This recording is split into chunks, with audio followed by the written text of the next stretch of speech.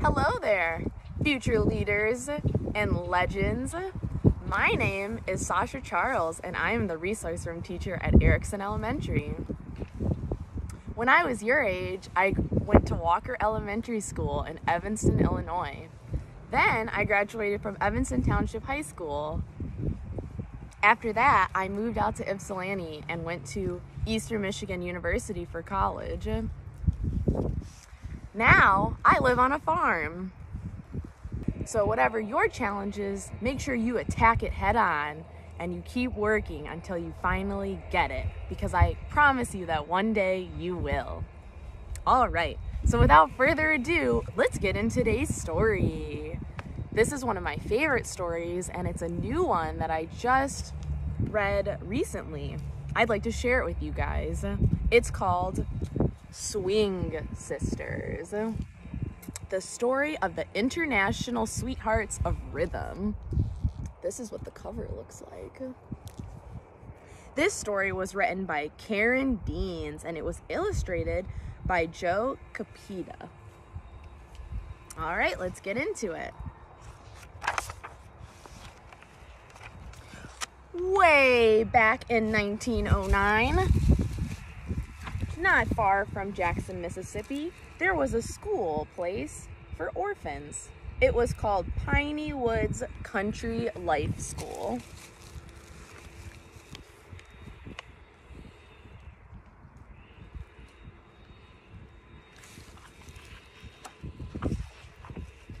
A man named Dr. Laurence Clifton Jones started the school.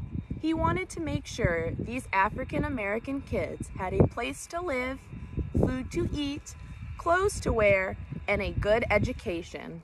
In return, the children worked at the school to earn their keep. Some planted seeds and picked weeds outside of the farm. Others chopped vegetables in the kitchen, or they did laundry.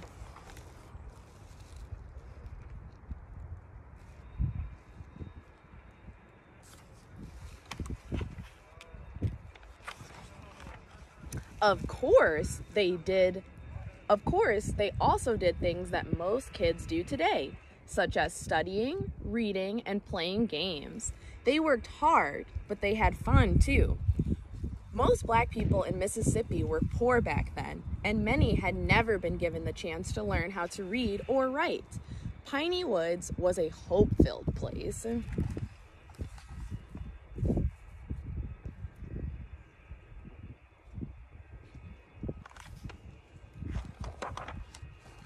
Dr. Jones loved music and he wanted the children to love it too. In 1939, he started a school band that was just for girls and he called it the Sweethearts. Dr. Jones wanted the band to help raise money for the school, so the girls were expected to take it seriously, like a real job. The Sweethearts woke up at 5 o'clock every morning and filled their days with schoolwork and hours of practice. It could be exhausting, but they loved it.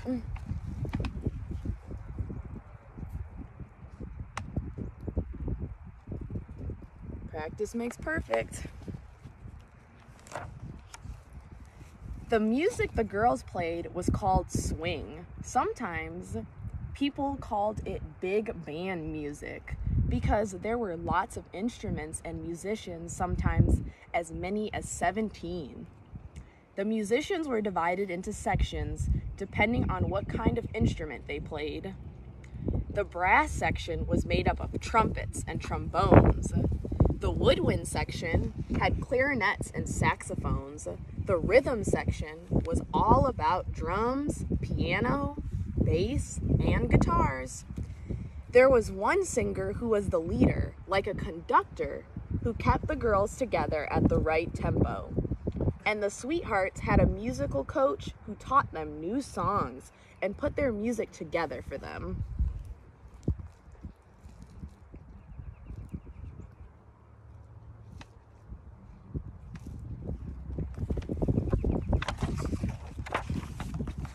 Swing now That music was filled with energy. It was jazz. It had rhythms and melodies that got people up on their feet to dance. And like any good music, it told stories about how it feels to be alive. The Sweethearts played in churches and in schools and other places. There they are, all dancing.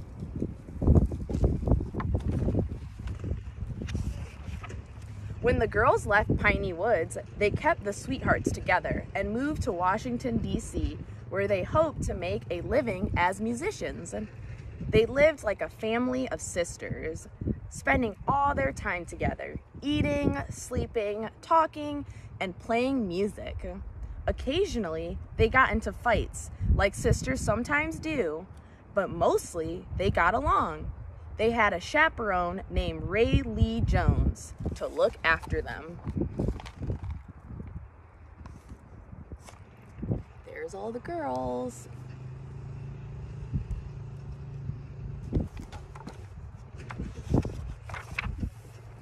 Ray traveled with the Sweethearts, making sure they had a safe place to eat and sleep.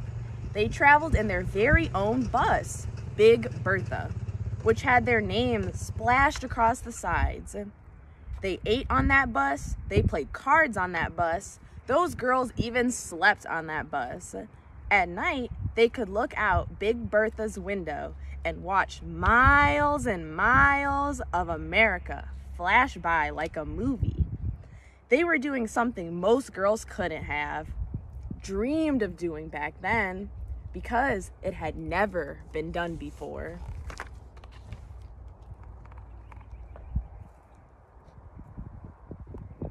There's Big Bertha. Every so often, a band member would leave, but they were always picking up new musicians along the way a sax player from Boston, a bass player from New York. The original members of the group were black, but the band grew to include people of many races and nationalities. The Sweethearts didn't care as long as they could play music, as long as they could swing. There they are. They started calling themselves the International Sweethearts of Rhythm, and pretty soon they found themselves in the big time. They got dressed up in beautiful gowns and fancy shoes and performed for crowds all over the place. One week, they played the Howard Theater in Washington, and 35,000 people came to see them. The International Sweethearts were a sensation people lined up in the streets for hours to hear them play. There it is. Inside the theater, people danced in the aisles night after night. In the 1940s, there were other big band entertainers who were very popular, such as Louis Armstrong and Count Basie, they were leaders of the male bands. The International Sweethearts of Rhythm was one of the very few all female bands at the time. Women were discriminated against. They didn't get paid as much as male entertainers. Some people did not take them seriously, but the Sweethearts worked just as hard as men did. And these women were good.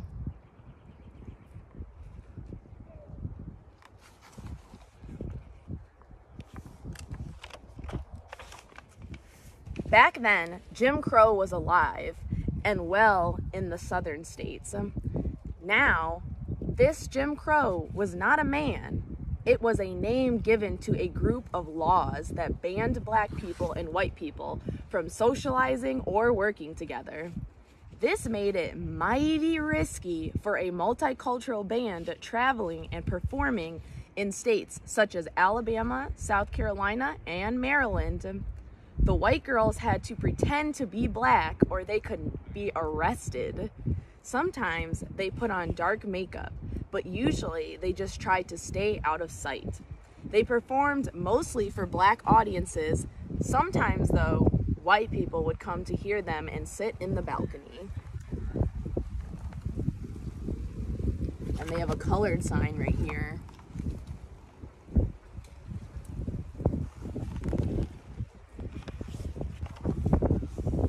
Once a while, the Sweethearts were played in a southern town. Some policemen heard there were young white women in the band.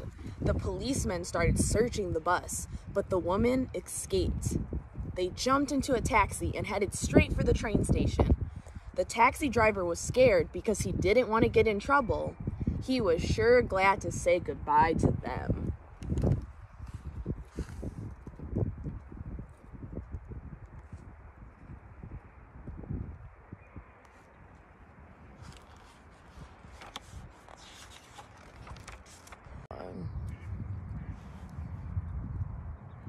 In the early 1940s, many American men were sent to Europe to fight in World War II. Hundreds of African American soldiers got together and wrote letters to the government asking for the sweethearts to visit Europe. In 1945, the United Services Organization, USO, arranged a six month tour for the band to travel to France, Belgium, and Germany the sweethearts were treated like queens. The soldiers were thrilled to hear these talented women perform. For the soldiers, the sweethearts' music was like a long drink of cold water on a really hot day. There they are performing for all of the soldiers with the backup band. The Sweethearts came home and played for a while. They didn't make all that much money though, and before long, they started to go their separate ways. Some got married and raised families. Some got other jobs. Some kept playing music for the rest of their lives. In a way though, they all made a difference. Those sweethearts didn't know it at the time, but they helped open doors for women of all backgrounds. They gave hope to those who heard them play, and they helped show the world how to swing.